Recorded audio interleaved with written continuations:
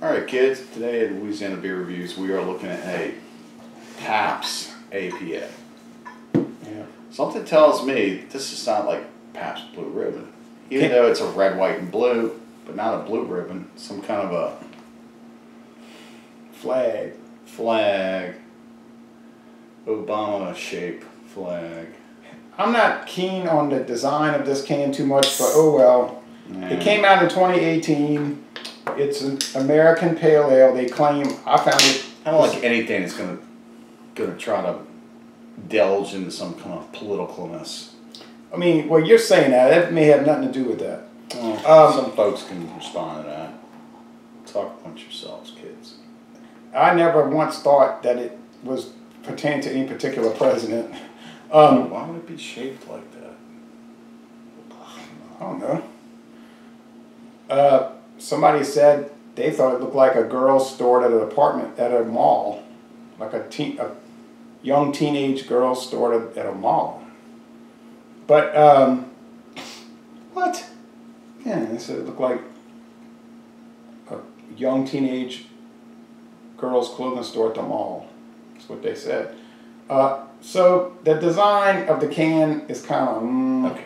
it's only sold in cans and on draft. Uh, no, no bottles. It came out in 2018. It's 5.5% alcohol, and it's contract brewed by La Crosse, Wisconsin's uh, City Brewing. Hmm. But Pabst doesn't really have their own breweries, so everything they make is contract brewed. Pretty much everything. So basically, beer is being sold in Pabst's name. like many liquor, wine, and beer companies, they pay other people to do the recipes they develop. And that's very common in the whiskey and spirits world. It's a deal. You know, overhead. Yeah, you just, you're a brand holder Mm. and you market the product, but you don't produce it. Mm. Although Pabst has started a little pilot brewery in Milwaukee again, and they just came out with a chocolate beer they were putting on their web page the other day. Probably not going to be sold around here, but it is a chocolate beer. Alrighty then. Frothy head. This is a revisit for both of us because, Yeah. cheers, we've had it. You've had it, I've had it. And this was five ninety nine a four pack. You reviewed it. I Yeah. verbally reviewed it with you. Correct. And you were going to mention Old Tankard Ale. It's got a little old tankard smell to it. That was a much richer, stronger. It was a richer, it was the ESB classic English extra special bitter style. It had uh, a lot of body to it, caramelization inside of it. It was like a nut brown ale. It was just very good. I'm getting this a, a Um, little bit of the old tankard ale in this smell. And I'm thinking it's probably because maybe this is probably the same yeast and maybe the same design, just not as heavy. bro- yeah, not just not brought into such a marriageization of a, of a, of a really good. I know, not a word. Of, of a really good beer. In other words, it's dialed back. Yeah, I think so. Um, But if you smell it, if you, and if y'all have ever had the old tankard ale, pick this up and just kind of smell it. It does smell a little bit like old tankard. I'm not gonna taste and see how much it does. when I think of American pale ales, I think of things like Oskar Blues, Dale's Pale Ale, and Sierra Nevada Pale Ale. You know, those t- like the two hallmarks in America. and I'm getting that slight old tankerness to it. So to me, this is like a light version of old tankard ale, rather than a Pabst. It's, you know, you got to get Pabst Blue Ribbon out of your mind when you're doing this. Oh, of course. Then it should say Pabst on it. yeah, Because that's the first thing you're gonna that's the think. name of the company. Right. That's the first thing you're gonna think. Well, we just we just drank another beer. It didn't say Budweiser on it. That's the first thing you think when you see this.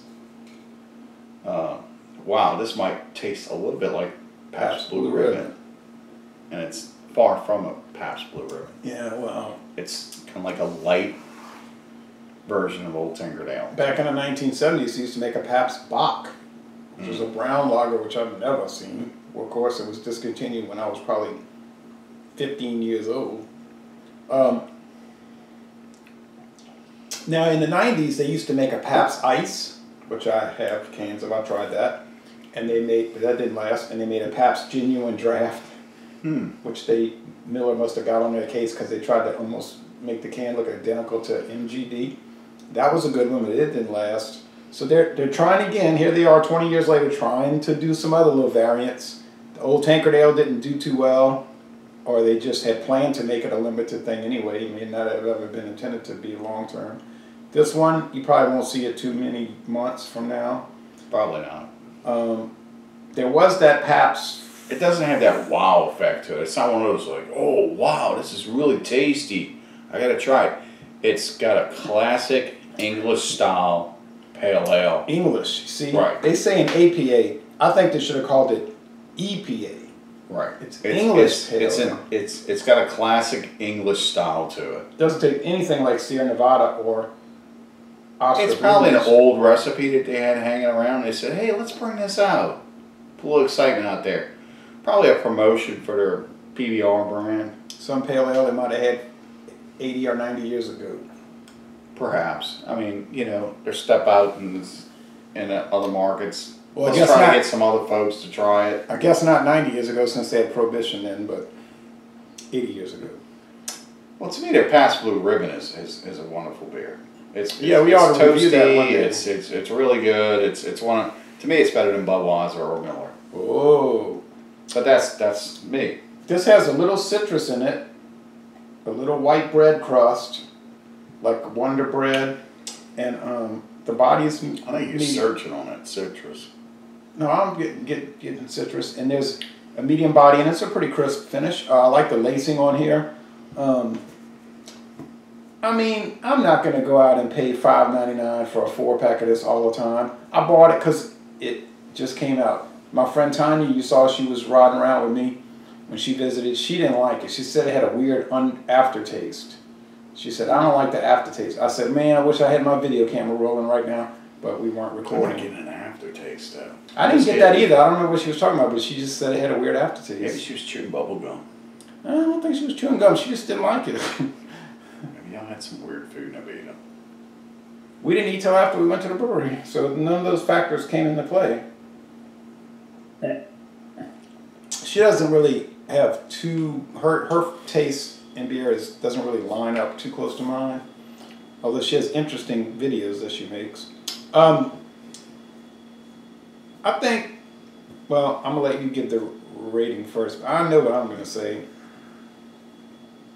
I give it a B. Like I said, it's not really wowing me anything. It's almost like a lighter version of Tankard Ale. I'm gonna say A minus. I mean, I think it's got a lot of good flavors. I don't think there's anything weird, wanky, or off about it. It's pleasant to drink. I mean, a dollar fifty a can. I'm not too sure about that price point, but I mean, I'd probably rather drink Pabst Blue Ribbon, but then that's a whole lot cheaper. So I mean, you know, I like that beer. It's I would recommend it. I, I would say definitely don't pass it up try it because you're probably not going to see it in a year. That's just the way I feel about it. I'm saying A minus, you're saying B. So It's a solid B. you preferred, so I'm saying like a 91 out of 100, you're saying 85 out of 100. You preferred the, the I'm natural, putting a number on it. I like to put the numbers B. now. Uh, you, you would rather drink the natural ice over this though. Yes. Gotta call them like you see them. You might rather drink the Old English over this. But the best beer is free beer. Uh, unless it's earthquake or camo. then you would pay the people not to give it to you. I swear, go to a racetrack and buy a can of earthquake, and you're going to agree with what I'm saying. You will pay. They should pay you to get it. You you know, in other words, you go to a racetrack, they should pay you to take it out of a cooler. Mm. It's like you just can't. I don't know. You can't believe it, but it's true. And I made a mistake and drank Four Loco the day of the Super Bowl.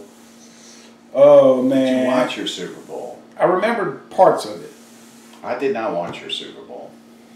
Moving on. Yeah, well, talking about politics. All right, so we still think it's a good beer. I mean, a B is a good score, right? So Mm-hmm. we're gonna go on to something else. Passes. Passes. All right. So laissez les laissez les bon temps relais. A good. You're saying I'm saying excellent beer. We're gonna end this review by saying y'all come on down Jefferson Parish, Louisiana. I'll get out the chair.